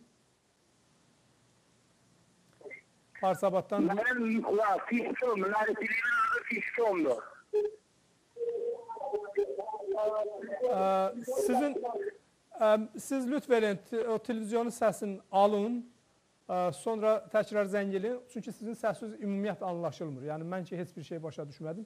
Bir daha zəng eləyin. Təbrizdən buyurun alo. Ben, alo. Buyurun bəli Təbrizdən. Salam yorulmayasınız. Sağ olun, buyurun. Salam. Aydöktədən sual eləyəsiniz. Mənim qanımda hepatiti görürsən, əz naqili salimdir. Vəli qarnımda babətçənə bir çöp vardı. Gedirəm azmaşda verim, dörtülə deyim, müşkülü yoxdur. Sən 1 milyonda bir dənə dəyilsən. Mən də qarnımın çöpü vardı. Aydöktədən istedim deyirəm, buna üçün dava nəzəri var, mən ondan istifadə edirəm. hepatitin hepatitın hansı növü göstərilib? Hansı? Beydi, beydi, beydi, beydi, Cavad bəy. Bəli, bəli. Hə. Yol yaşayasın, sağ olasın. Təşəkkür edirəm. Aynen, buyurun. Sağ Ee, doktor baş, Hə, bir dənə də hə. telefon alaq, sonra mən Hə, sözü buyurun, sizə verəcəm. hə. Tehrandan buyurun alo. Hə, Mənim tabanım yanıbdı. Özümdə peyvət vurdurmuşdum. İndiyalan o peyvət vurdığım yer tabanım durranıbdı. O yarı için əsli sikim vardı. Məsələn, böyük barmağın üstü dırnaq boyda. İndi gəlib düz vəsətə. Peyvət var. İndi 10 ildir o durranmır. O yara hansı yara gəlib vəsətə? Hardan? Dabandan? Düz bəl tabanım üçün özündeydi. İndiyalan yara o peyvət kimi vurulub. Gəlib ortaya. Tabanımın dal tərəfindən ki, bu möhkəm rəc var idi. Oradan peyvət vurub mahidədən vermişdilər. hı. İndi gəlib düz o vəsətə. Aydındır. Ee, sağ olun. Tə, hələlik telefon qəbul etməyək.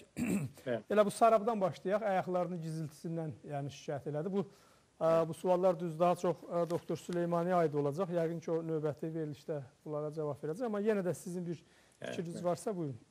Hə. Yəni ayaqda olan o gizilti bir o hissiyatı, o subyektiv bir hissiyatdır. Yəni ki, bu çox səbəbdən əmələ gələ bilər. Yəni o deyək ki, o nahiyədə olan o sinirlərin, yəni xəstəliklərin nəticəsində əmələ gələ bilər. Bundan sonra o nahiyəyə gedən qan damarlarının, e, yəni e, qan təchizatının, yəni ə, yaxşı olmaması nəticəsində əmələ gələ bilər. Yəni o səbəblər çoxdur. Bunun üçün də ə, təbii ki, yenə də deyirəm, o xəstəni yaxşı dinləmək, onun o bu şikayətlərini araşdırmaq və ə, müəyyən etmək lazımdır ki, bu səbəbi nədir, yəni. Amma indi əgər onu sonrası ehtimallar çoxdur.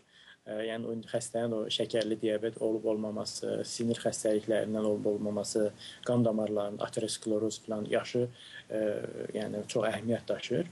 Ə, əgər amma qeyd edim ki, o gizilti gizilti hissləri ə, davamlı olursa, əgər o ə, keçmirsə, gecələr xüsusilə də daha çox artırsa falan o, o damarların arterial qan damarlarının ə, xəstəliklərinə bir özə verir. Ona görə də hesab edirəm ki, bu xəstədə də yəni yaxşı olar ki, o bir o xəstələrlə o yaxında olan bir poliklinikaların birinə gedib o həkim vasitəsilə onun bir müayinə olunsun və səbəbi aşkarlansın. O digər tərəfdən o o giziltinin hansı bir müalicə ilə, yəni sağaldılması məsələsini isə mən belə deyərdim ki, o gizilti bir əlamətdir. Onun bir yaxşı olar ki, səbəbi tapılsın yəni. O səbəb tapılsa, o xəstəliyi daha yaxşı müalicə etmək mümkün olar yəni. Bəli. Ə, Təbrizdən ə, dostumuz dedi ki, qanında hepatit B tapılıb hər halda. Bəli. Ə, yəqin ki, yollarını ə, soruşur ki, yəni necə? Ə, ə, bəli. Hə bu hepatit B ilə xəstə qaraciyər xəstəliyini təbii ki, o gastroenteroloq ya hepatoloqun yəni nəzarəti altında müalicəsini ap aparmaq lazımdır. Bunun üçün də spesifik və yaxud qeyd elədiyimiz kimi dərmanlar var. Ana interferondur, lamovidin dərmanıdır. Ondan sonra qaraciyərin o ə, hansı dərəcədə zədələnməsinə ə, dən asılı olaraq müəyyən başqa dərmanlarında qaraciyərin yəni funksiyalarını yaxşılaşdıracaq dərmanlar seçilə bilər. Bundan başqa, yəni mədə-bağırsaq sisteminin də hər hansı bir rahatsızlığı, hər hansı bir qida qəbulunun disfunksiyaları nəticəsində o köplük meydana çıxa bilər. Yəni bunun üçün də ə, müvafiq, yəni bağırsaqlar bəzi hallarda qaraciyərin xəstəlikləri nəticəsində yaxşı işləmir. Onun üçün də bağırsaqların yaxşı işlənməsinə, yəni ə, bağırsağın o ifrazatından da bağırsağın, yəni o daimi gündə bir dəfə, iki dəfə böyük, yəni o bayıra getməsidir. O, yəni ə, onu təmin etmək lazımdır. Onun üçün də müvafiq dərmanlar və yəni o qarın işlədici, bağırsaqların o, təqəllüsünü yaxşılaşdıran dərmanlar var. Yəni, onlardan qəbul etməklə bu xəstə bu yəni vəziyyəti yaxşılaşdırır. Doktor bu B, B hepatiti hə. ümumiyyətlə bu dərmanlarla kökü kəsilə bilər, sağlam ə, e, yəni normal Bəli. hala qayıda bilər. Bəli, əlbəttə. Yəni ilkin etaplarında ə, e, ümumiyyətlə ə, e, bu qeyd elədiyim o dərmanların vasitəsilə ə, xəstəliyi sağaltmaq mümkündür. Bəli. Aydın. Ə, Tehrandan ə, bir sual var idi ki, dabanı ilə bağlı, dabanı yanıb, sonra hə, ə, hə. peyvənd vurublar və o peyvənd o yara indi yavaş-yavaş orta tərəfə gəlir. Yenə də bu hə. doktor Süleymaniyə aid olacaq yəqin ki, amma hə. siz də istəsiniz bir fikir bildirin. Hə, təbii ki, bu elə yəni bizim də sahəyə aiddir belə deyim. Yəni, gözəl. Yəni belə deyim ki, indi böyük ehtimalla yəni o ayağında o yanıb, yanandan sonra ora e, yəni plastik eləyiblər, başqa bir e, deyək ki, dərinin ayrı bir yerindən gətirib ora dəri yapışdırıblar. Bu elə yəni belə. Ondan sonra o yara indi yavaş-yavaş artır. Mən onun üçün e, onu tövsiyə edərdim ki, o xəstə harda ki o peyvənd olubdur, harda ki o əməliyyat olubdur və kim ki o əməliyyatı edibdir, yaxşı olar ki, ona bir müraciət eləsin. Və ola bilər ki, o yəni bu peyvənd olunanda ora bir infeksiya düşüb və yaxud da ki, xəstə daban elə yerdir ki, o daimi yəni təzyiqlərə, o dəvadadan basır yerə təzyiqə məruz qalır. Onun üçün də o e, orada yara biraz dərinləşə bilər. E, dərinləşibdir böyük ehtimalla. Hesab edirəm ki, o öz həkiminə müraciət eləsin, uzatmasın, yəni yubatmasın. E, o həkim e, öz bildiyini, yəni e, bilir ki, nə edibdir, o hansı proseslər meydana çıxır. E, onu asanlıqla, yəni o infeksiyanın qarşısını alar lazımsa, orada o, o ölü toxumalar var, onları e, əməliyyatlar eləyib çıxardır və xəstə yaxşılaşa bilər. Ona görə tövsiyəm odur ki, o öz həkimindən müraciət etsin. Aydın. Telefonlarımız ekranda görürsünüz. Bir neçə telefon əgər olursa biz qəbul edəcəyik və Daha sonra biz Sayın Doktorla sağollaşacaq və elə, eləliklə də xəbərlər efirdə olacaq. Sadəcə bir 4-5 telefon, əgər hər, hər halda sualı olan varsa, mən bayaq gördüm, bir çoxlu telefonlar var idi, kəsildi. Bu telefonlar ə, təkrar, yəni bu həmvətənlərimiz studiyumuza telefon aça bilər və ə, suallarını verə bilərlər. Təkrar edirəm, ə, Sayın ə, Doktor Rauf Şahbazov ə, qaraciyər və böyrək xəstəlikləri üzrə mütəxəssisdir, cərrahdır. Yəni bu ə, ciyər böyrək köçürmə cərrahıdır. Amerikada hal-hazırda da ə, həkimlik görəvi ilə məşğuldur. Doktor, mənim daha bir sualım var idi bu böyrəklə bağlı. Ə, böyrəyin fişarı xun və yaxud qan təzyiqi ilə bağlı hər hansı bir əlaqələri varmı? Yəni bəzi insanlar qan təzyiqindən danışır, qan təzyiq. Onun hə, böyrəyin təsiri varmı bu qan təzyiqinin əmələ gəlməsində? Bəli.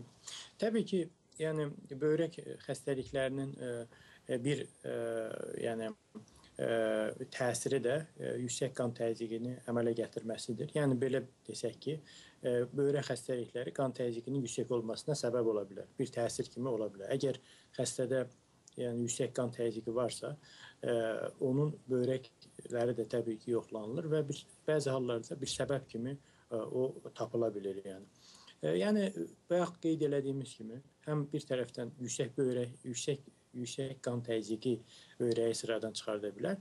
Digər tərəfdən isə böyrək xəstəlikləri də ə, uzun müddət davam edərsə, böyrək sıradan çıxarsa, bu da xəstəyə yüksək qan təzyiqi ə, kimi ə, sonradan səbəb ola bilər. Yəni ə, belə qısa desək, təbii ki, bir səbəb kimi yüksək qan təzyiqinin böyrək ola bilər.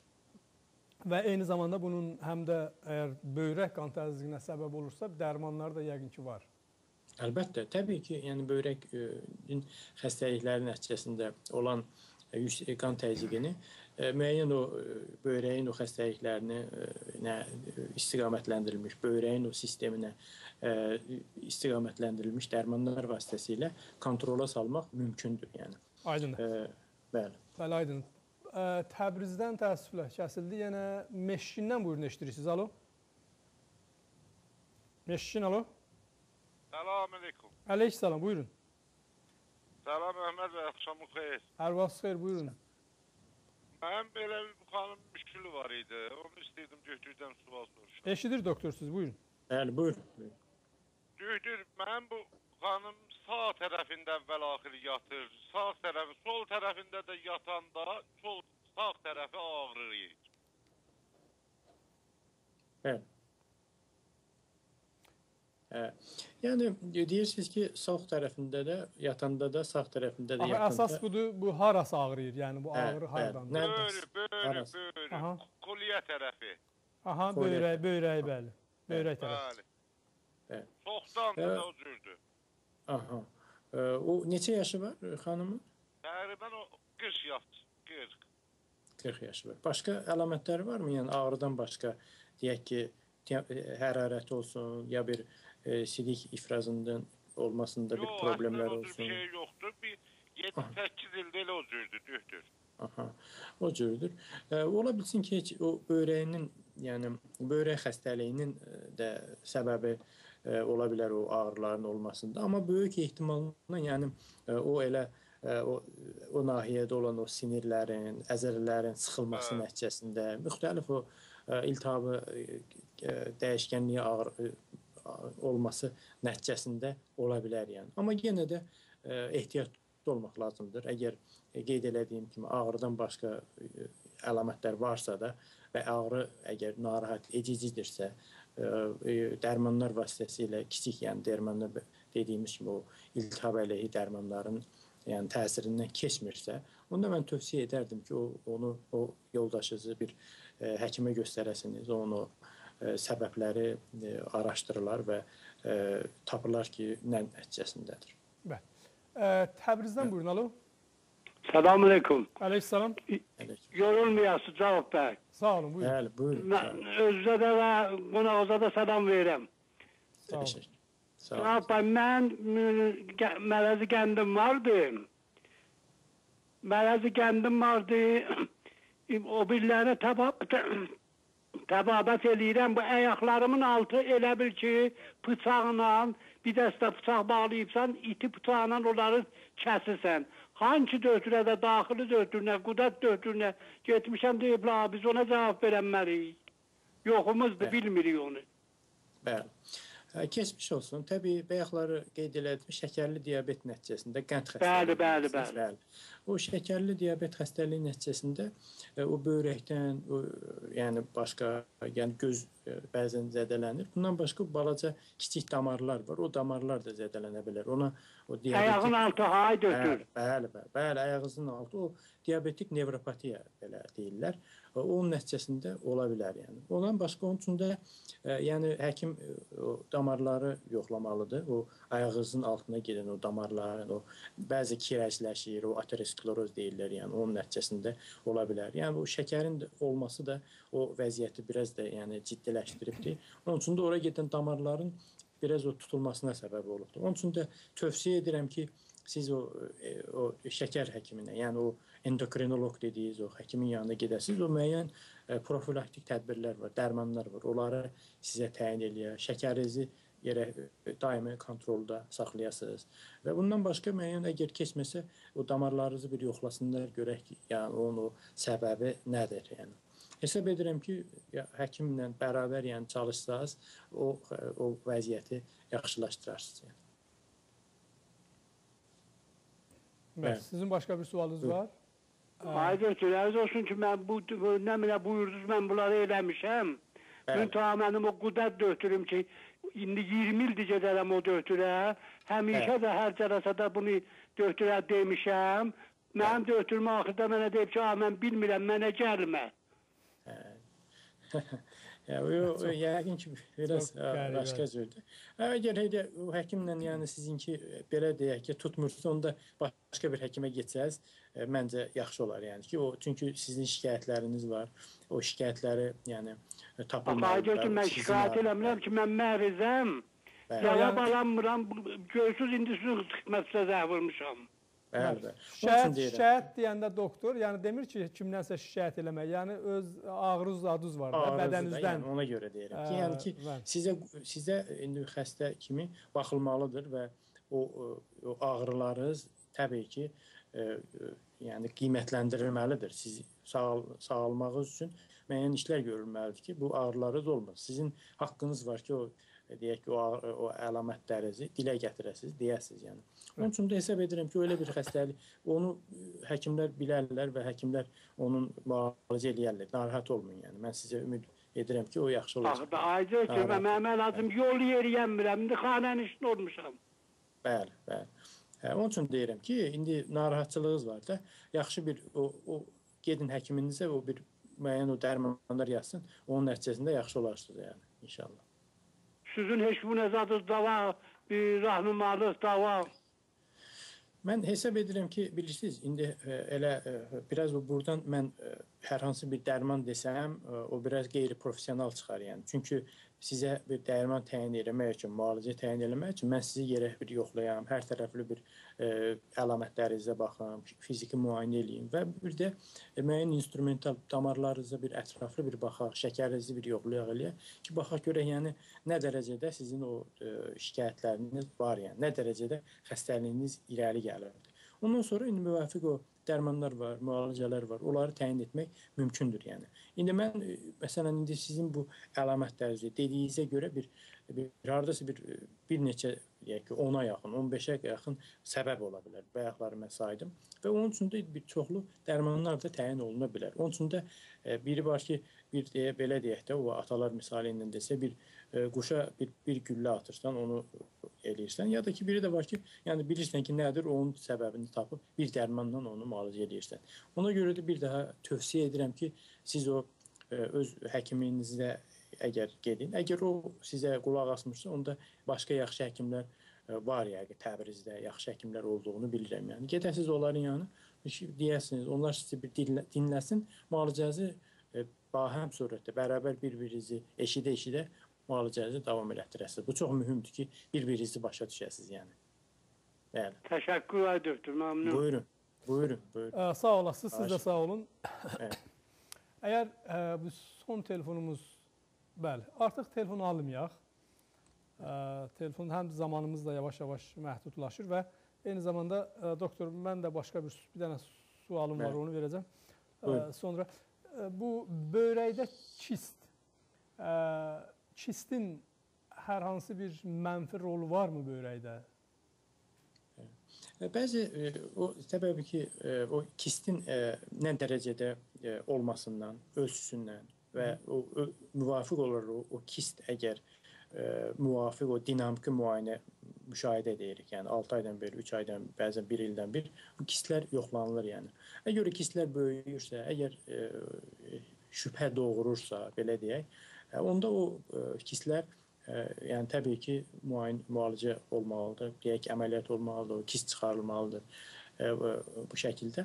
Yox, əgər əgər o kist kiçikdirsə, uzun müddət elə davam edirsə, heç bir şikayət vermirsə, yəni ağrısı yox, yəni iltihabı infeksiya vermək əlamətləri yoxdursa, onlar elə o Yəni orqanizmdə bilər. böyüyəndə hansı şərtlərlə böyüyür? Yəni səbəb nədir böyüməyinə və yaxud böyüməməyinə bunlar Böyüməyinə səbəb ola bilər ki, məsələn, o sist e, deyək ki, e, müxtəlif o şiş e, mənşəli ola bilər. Sist e, yəni bir müddətdən sonra e, bir e, bədxəstəli bir xəstəliyə çevrilə bilər. E, buna görə yəni böyümə onun səbəbindən ola bilər. Bir səbəb odur ki, yəni ki, onun üçün deyirəm ki, o kompüter tomoqrafiyasıdır ya bir ultrasəs müayinəsidir. Onu mütəmadi elə olaraq, yəni onu ed edərək o şişin böyüməsi və yaxud da ki, o e, şübhəli, yəni e, bir e, toxumaya çevrilməsini e, yoxlamaq lazımdır. Yəni əgər elə bir əlamətlər varsa, onda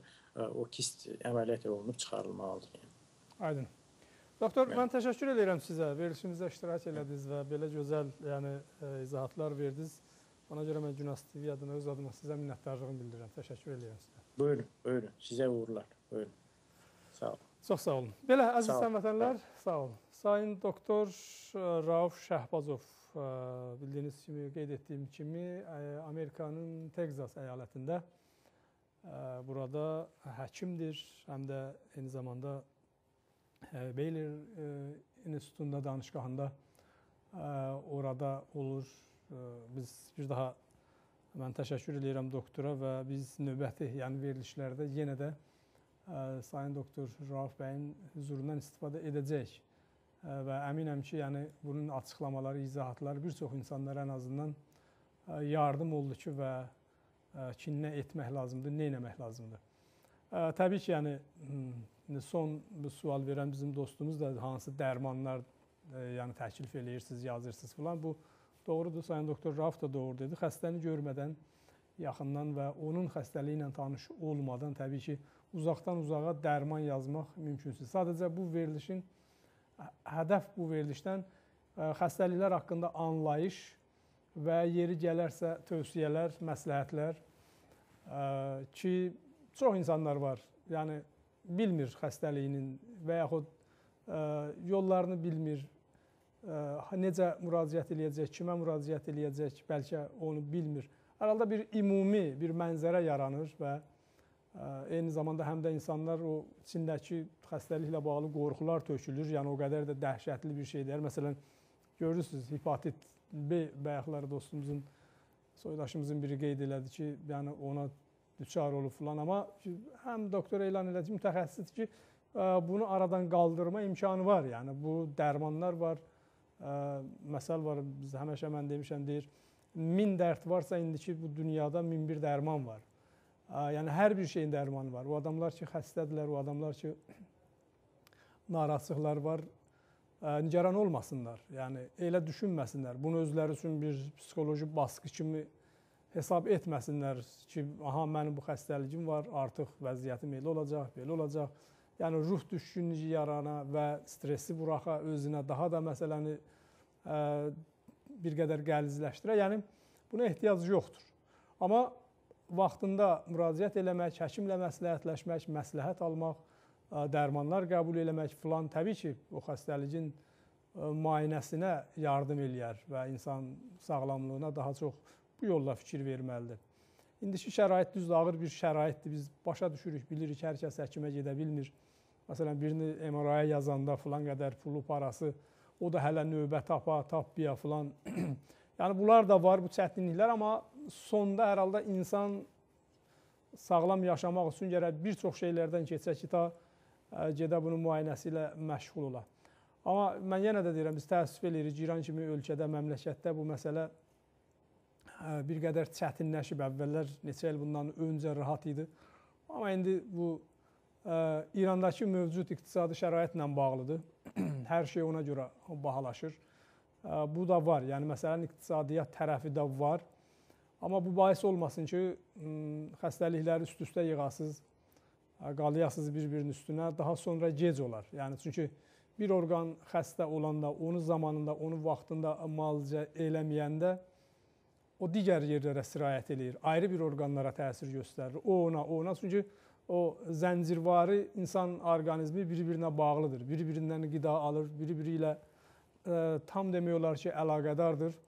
Ə, onun üçün qoymamaq lazımdır. Əgər biri bir xəstəliyi varsa, o daha genişlənsin, daha nə üçün məsələn səratan ə, hər halda nədən yaranır? Əgər sərətanın müalicəsi var, əgər zamanında, vaxtında müəyyən olarsa, məsələn, biri mədəsindən şikayətlənir, bir dedi məsələn, mədəm ağrıyır, mədəm köpür. Gedirsən endoskop eləyirlər.